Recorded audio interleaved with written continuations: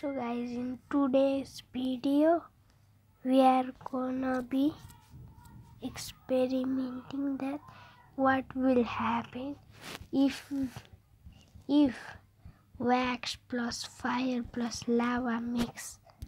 So let's see guys. Okay that's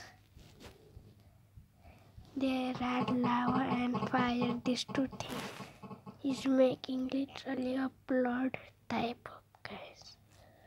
Okay?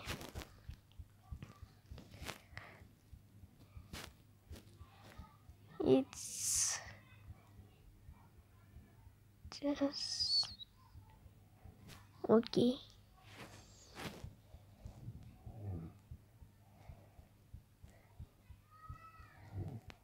Okay see guys it's literally going